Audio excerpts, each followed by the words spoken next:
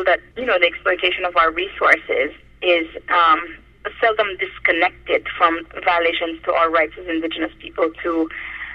um, our stewardship to the natural resources and the forest that we live in. Uh, we also feel that we cannot be silent um, in light of the corruption that we have seen within the forest department, within within the ministries that are responsible. And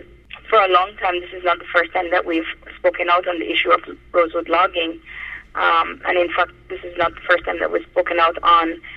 uh, situations where we feel government has violated our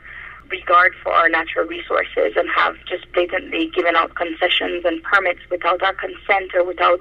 even our